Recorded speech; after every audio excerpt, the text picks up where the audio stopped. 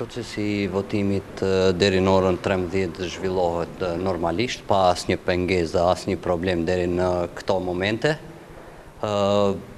Sa i përket daljes së votuesve deri në ora trembëdhjetë që janë dhëna zyrtare nga ana e Komisionit Komunal Zgjedhor, në Komunën e Tetovës kanë votuar nëntëmbëdhjetë pikë gjashtëdhjetë e tre për qind, që në numër i bie diku gjashtëmbëdhjetë mijë e dyqind e pesëdhjetë votues, Në krahasim me raundin e parë zgjedhor ka rritje të votuesve prej shtatëqind e tridhjetë e pesë votues. Ka ndonjë parregullsi deri tash të paraqitur? Deri më tani nuk kemi të paraqitur në Komision Komunal asnjë parregullsi, domethënë theksova i gjithë procesi zhvillohet ashtu siç duhet.